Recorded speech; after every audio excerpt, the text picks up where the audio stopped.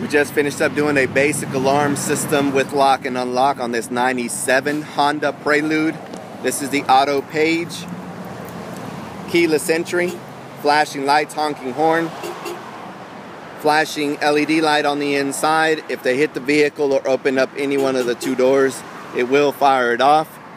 Give us a call, set up an appointment 214 320 5500.